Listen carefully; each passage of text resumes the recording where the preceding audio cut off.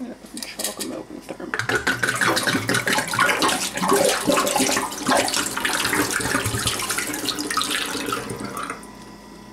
You're clean slate, this is not that dirty inside. It's clean, I'll show you after here.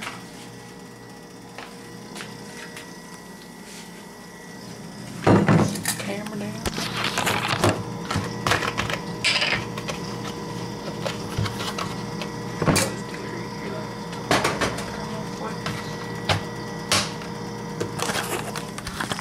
And I pour it into the thermos.